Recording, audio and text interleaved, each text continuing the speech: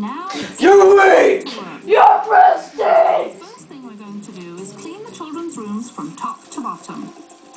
The rooms are disgusting. There were dirty and clean clothes